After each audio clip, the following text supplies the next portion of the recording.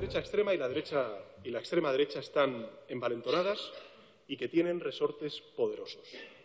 Saben a quiénes sirven, tienen más medios, más recursos y, por cierto, ningún pudor para lanzar infundios y para traficar con la mentira.